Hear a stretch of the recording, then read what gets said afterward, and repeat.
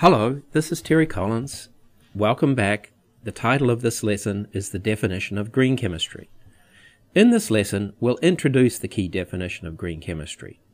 We'll analyze the definition to see its strengths and implications. We'll acknowledge a structural barrier to sustainability in university education, and we'll consider other definitions. So here is the key definition of green chemistry. Green chemistry is the design of chemical products and processes that reduce or eliminate the use and generation of hazardous substances. The definition was produced in the early to mid 90s by Dr. Paul Anastas. The two most important words in the definition are design and hazardous. Green chemists design against chemical hazards. It's that simple. Now, clearly, green chemists must understand the scientific nature of chemical hazards, especially the important ones. How can you design against a chemical hazard that you do not understand?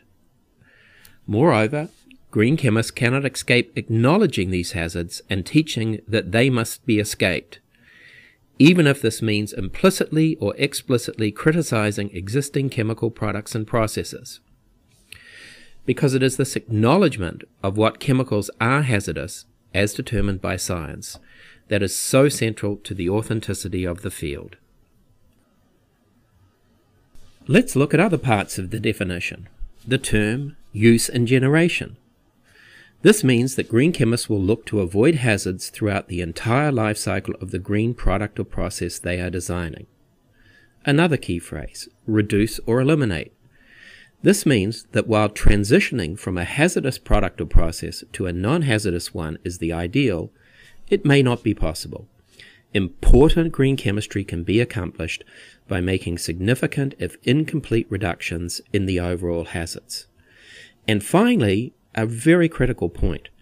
Green chemistry research is approached by identifying a hazardous product or process and then designing against it. Clearly, then, the more important the hazard is, the more important the green chemistry work is. Thinking further about the definition, ideally, green chemists will seek to eliminate hazardous substances at their sources, rather than try to deal with them after they've been released. But sometimes the requirements of technical performance for valuable chemicals are so stringent that it is essentially impossible to eliminate the hazard at the source. Active pharmaceutical ingredients in drugs, highly bioactive compounds, are perfect examples of this limitation. You may be aware that some APIs are becoming water contaminants of concern. In these cases, green chemists will seek innovative, environmentally compatible approaches for reconciling the conflicting performance requirements and the need to protect health and the environment. Well, because green chemists design against hazardous chemicals, and hazardous chemicals are many in number, and the chemical nature of the hazards is often extraordinarily complex, we're left to ask if green chemistry will have a big impact on the following structural feature of chemistry itself.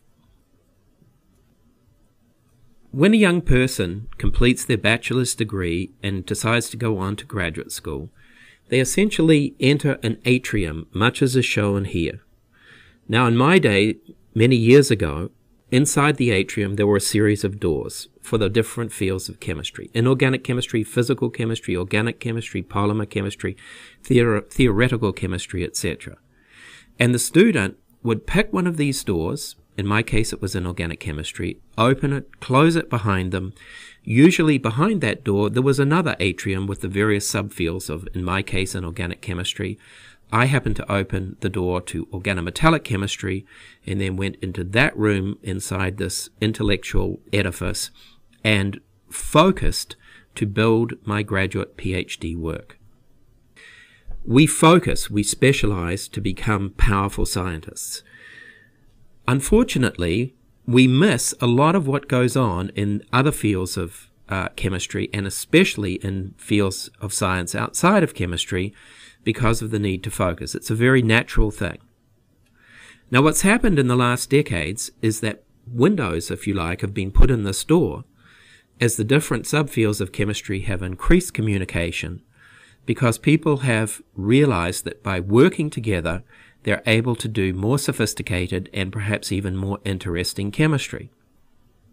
What green chemistry proposes to do is to build another door in this atrium. And behind this door, there are chemists who are equipping themselves with extensive understanding of toxicity and ecotoxicity and bringing that information to de- designing non hazardous alternatives to hazardous products and processes.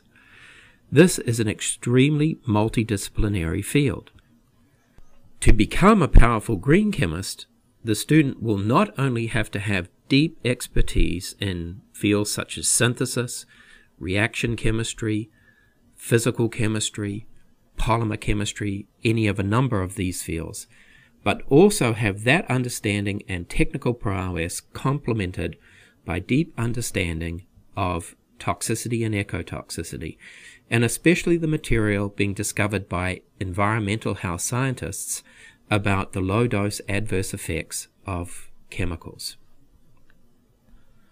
So, green chemistry's highly multidisciplinary nature means that it will bring people together from a variety of fields to work together to solve problems of producing the products and processes of a sustainable civilization.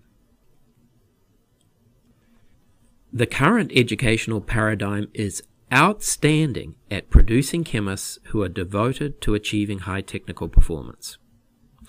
This paradigm is essential for developing strong scientists and it should never be sacrificed. Green chemistry does not threaten the paradigm, it makes everything more interesting. Green chemistry will help to produce graduates who have clear insight into the health and environmental consequences that accompany the exercise of the chemist's skills. And finally, there are other definitions of green chemistry. The most important of these is an alternative that was produced by Paul Anastas and John Warner and published in their classic book, Green Chemistry Theory and Practice. According to this definition, green chemistry is the utilization of a set of principles that reduces or eliminates the use or generation of hazardous substances in the design, manufacture, and application of chemical products. Well, this definition is a bit unwieldy.